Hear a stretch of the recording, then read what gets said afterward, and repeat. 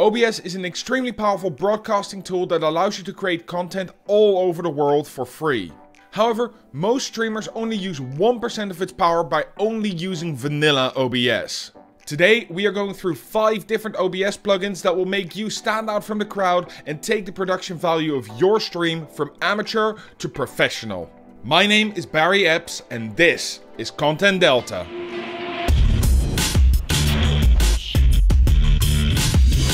Okay, disclaimer first, this only works for the OG OBS, it doesn't work for Streamlabs OBS, and if you have been thinking about switching, then see this as your sign to do so, you can thank me later.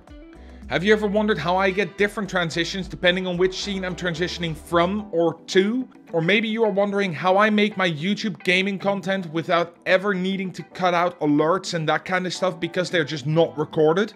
Well, after this video, you can do the exact same. But if you do have any questions, I stream every Wednesday, Saturday and Sunday on twitch.tv forward slash mathmaneu where I try to answer your questions live on stream. If I can't, however, we have an amazing community in the Discord with experts on software, hardware, charity streams, events and more. Check the link down below. Now this first plugin fully depends on when you watch this video because they're actually adding it natively into OBS from version 28.0 onwards. I am of course talking about OBS WebSocket. This plugin on its own does absolutely nothing, but what it does do is allow other programs to take control of your OBS. We are talking Streamer.bot, TouchPortal, LioranBoard, even your Stream Deck uses OBS WebSocket to communicate with OBS. The interaction that this adds is absolutely mind-blowing and just from the idea of adding streamer.bot and LioranBoard and TouchPortal and all that, your mind should be reeling with the possibilities that this gives you. And the reason for this is simple, it allows you to have chat commands or buttons or voice commands even that change your scenes, change your audio, turn it on and off, waters your cactus, even changes the URL in your browser sources automatically. Really this plugin plugin is just the first step, the foundation, the catalyst to greatness for your content creation studio. Installing it is super simple. Just go downstairs into the doobly-doo, follow the link. It leads you directly to the OBS WebSocket website. OBS WebSocket website. Now say that five times fast. Once you're on the website, go to the top right corner, click that go to download button, scroll down to the assets and pick the right one for your operating system. As I'm running Windows and I want to make life easy, I'm just gonna get the installer. That way we just have to follow the instructions on screen for installation. However, I can suggest adding a password to OBS just for that little bit of extra security, but if you do, make sure to write it down somewhere. Once that's installed, you've done pretty much all the pre-work to integrate your bots, get more plugins, or do whatever you want with OBS when you want it. And that allows us to move on to the next plugin, which is absolutely incredible, Move Transition. Move Transition is a plugin that, contrary to OBS WebSocket, does exactly what it says on the tin. It adds a transition which allows you to move stuff around instead of popping or fading, which are standard built in. This looks extremely fancy when you want to use it to move stuff from one scene to the other without it ever leaving your screen, such as your game camera, which is quite small, to a full-blown camera for your just chatting scene. But that is not the main reason why I think this plugin is so incredible. It also adds some other things in the form of filters. Adding a move source filter to a scene or group allows you to move something on screen with a single button. If your camera is in the way on one side, then why not use these to switch around from corner to corner or side to side. It's super easy to use and really all you need to do is make two of these.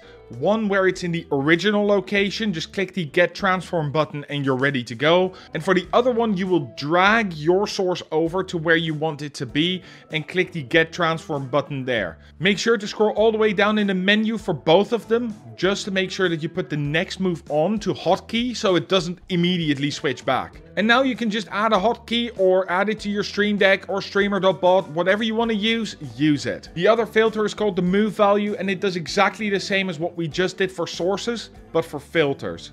Dynamically change the shape of your image mask or change the color correction on the fly, maybe even blur and unblur the same source without ever needing to touch anything. All of these can be done in this filter and it allows you to do some really cool stuff. To install it, it's very simple. It's the same as the last one. Go down in the doobly-doo, click the link, go to download, install it in exactly the same way. Next time you open OBS, it should be there. The way I use this plugin, besides switching camera angles, is I can scroll in a tiny screen on my just chatting screen or move a big screen behind my head to besides me so people can actually see what I'm doing more clearly. Honestly, the possibilities are endless and I would love to see what you do with it. So please leave a comment down below or at me on Twitter at MathManEU. Of course, this is great. You now have a move transition, but maybe you also have a really cool stinger transition that you don't want to give up. Or maybe you want to change from your game screen to your just chatting screen with a simple move transition, but then use the stinger transition when you move to the BRB screen? Well,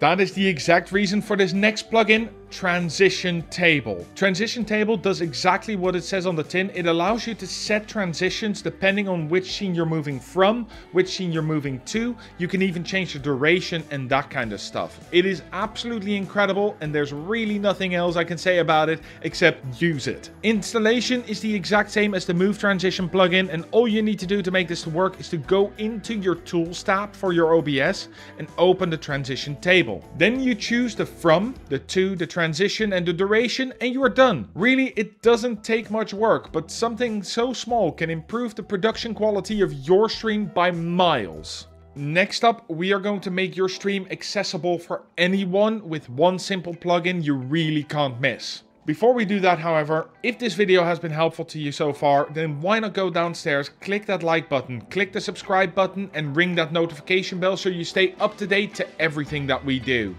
Thank you.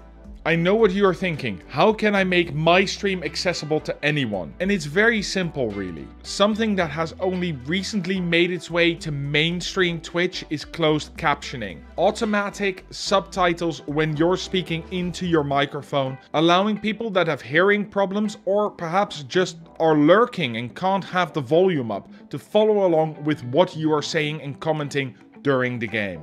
In a world where we are moving back into offices and out of our own homes and are unable to listen to everything that happens in a stream, but we still want to show support, this is going to help us interact with you as the streamer and you interact with me as a viewer because I can now hear what you say and therefore I can respond to it in chat.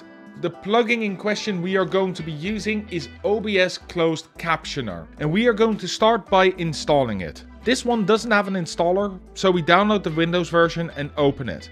Now on your desktop, right click OBS and go to properties and click open file location.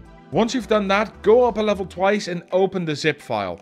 Take the files from the zip and drop them into the folder. That should install it. Now open your OBS and go to the tools menu. There should be a button called Cloud Closed Captioner. If it isn't there, you may have done the installation wrong. Go back a few steps, watch it again, see how it goes. If you really can't figure it out, you know where to find me. Then start by heading to the settings and choosing the caption source to be your microphone. Then set the profanity filter to on if your stream is not marked as mature. You can then set up your output as you like. Personally, I would leave this to streams only so the overlay does not show on your recordings. Toggle the add punctuation and leave the capitalization as is unless you want everything to be set to caps. But as you can see, this is not where the plugin ends because you can actually set it up so that it transcribes everything you say into a file. This means that when you start making YouTube videos out of the stream that you've just done, you automatically have closed captions for YouTube in the right places, timestamped and everything ready to go. All you need to do is tick the save transcripts button and find a folder to put them in. Leave them in .srt because YouTube accepts that natively and then you can just change the capitalization here if you want it any different from on stream. Then save your settings and turn on captioning and everything you say is captured by the plugin. If your viewers want to be able to see the captions, then they just have to click the closed caption button that's natively in the Twitch player. That's pretty awesome, isn't it? I already mentioned it a moment, but using these transcripts to use for YouTube videos made from your stream would be absolutely incredible. However, there is a slight problem on the other side, and that is the fact that there will be alerts and banners and sound effects and more on your Twitch VOD recording that you maybe don't want to export to YouTube because it makes editing an absolute crime for that video. So, how can we fix this? Well, that's where the final plugin comes in. It is Source Record. Simply what it does, it takes a source and records it separately from everything else. This is another simple one that comes with an installer, so I'm sure you can figure out how to install it. Once installed, open your OBS and go to the source or scene you want to record. Go to the filters and add a source record filter. Then from here it works exactly like the native OBS recording. Make sure to give the file a recognizable name, set the record mode to either streaming or streaming and recording if you also record for YouTube, choose the path to save it on and make sure to choose the right encoder. Generally that is NVENC for Nvidia cards and ATI equivalent for Radeon cards. Set your bitrate to the same level you stream at, and if you want to capture audio differently, that can be done as well. Scroll to your different audio track, click it and choose a track you are currently not using. Then go into your advanced audio properties and for every source you want to record, make sure it is ticked in that column. Similarly, for every source you don't want to record, make sure it's not ticked. Then it will be recording exactly what you want to have on it and with the sound as you want it. So alerts can't be heard, music can't be heard, and more. The incredible thing with this particular plugin is that it also comes in with built-in replay buffers. So if you have a replay buffer set up and you press your replay buffer button, this plugin will also make replays of that time period in these separate forms. So you can save them even easier. With those five plugins, your OBS has just gone from streaming software to content creation suite. There are two more videos coming soon, all about OBS plugins. One is to upgrade your audio to the fullest. The other one is to use a completely new RTX based feature, which you probably haven't heard about yet. Make sure to go and subscribe and ring that notification bell so you know when these videos are published. And while you're down there, why not leave a like if this video has been helpful to you. But not even these plugins can help if your microphone sounds like you're gently making out with it while sitting in a garbage can.